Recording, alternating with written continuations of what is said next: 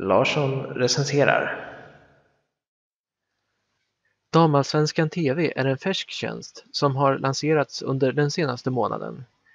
Tidigare i våras kom nyheten att inget traditionellt tv-bolag var intresserad av att betala för att få sändningsrättigheter till damallsvenskan och elitettan. Det gällde även TV4 som haft rättigheterna under de närmaste tidigare åren. Därför tog organisationen Elitfotboll Dam ett initiativ och har jobbat för att få igång en videoplattform så att det är möjligt att följa damallsvenskan även i år utan att vara på plats. Som det står på hemsidan så är målet med plattformen att göra damallsvenskan tillgänglig för fans i såväl Sverige som utomlands. Och nu när sajten är igång så har jag provat den lite grann. Damallsvenskan TV ger tillgång till eh, alla matcher som spelas i Damallsvenskan under 2016. Man kan antingen titta på dem live då de spelas eller titta på dem i efterhand.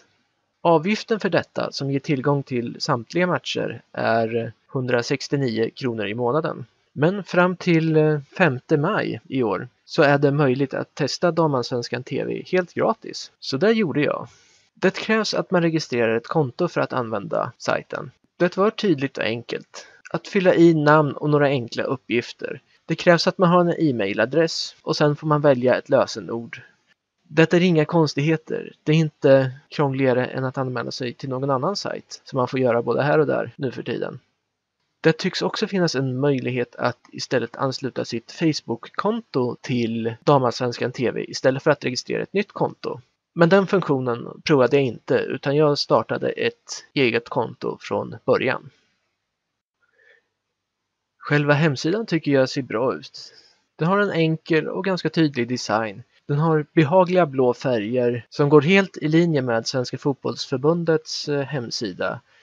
Ingenting ser särskilt plottrigt ut utan jag tycker det är lätt att läsa och hitta menyer. Det är lätt att hitta till den match man vill titta på också. Så det har jag gjort.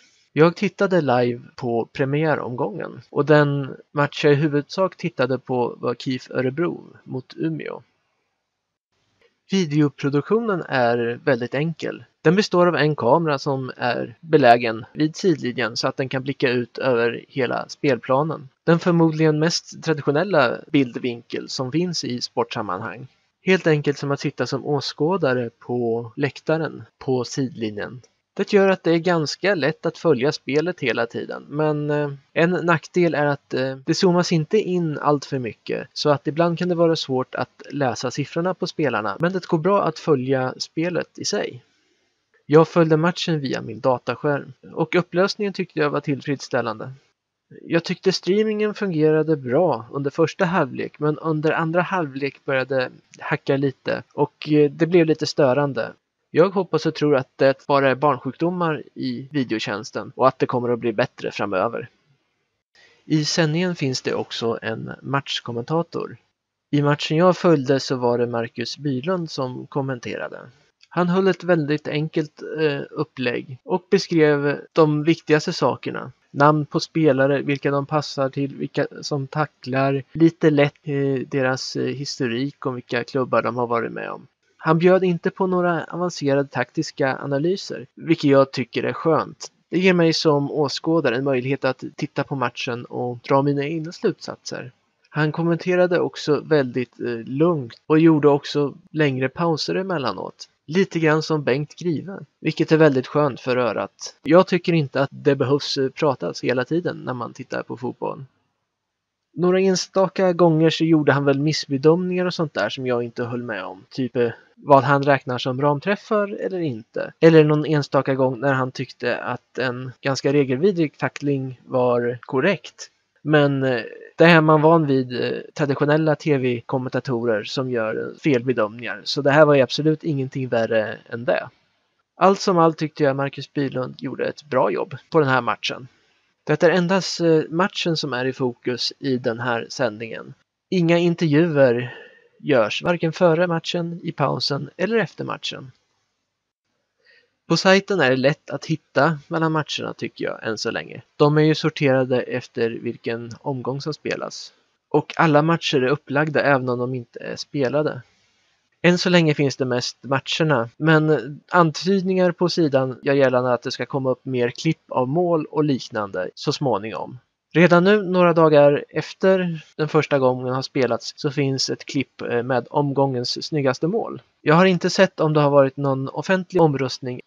Det finns även en del matcher från säsongen 2015 upplagda som man kan titta på, men det är inte alla matcher från fjolåret.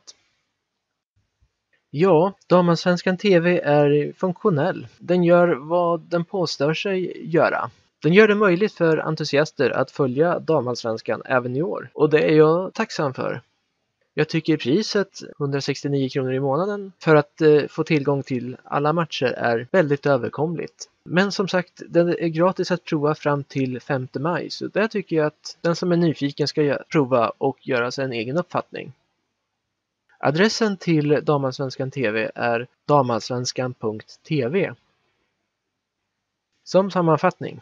Jag är glad att Damallsvenskan TV är igång så att jag kan följa de allsvenska matcherna i år. Då jag inte alltid kan vara på plats på arenan och framförallt inte kan vara på alla arenor samtidigt. Jag hoppas att det här blir den succé som det borde kunna bli. Det här är bara sin början och det kan säkert utvecklas och bli ännu bättre under säsongen. Jag håller tummarna för att det blir så. Tack för att du lyssnat. Titta gärna på en annan recension eller prenumerera på min kanal. Ha en fortsatt bra dag!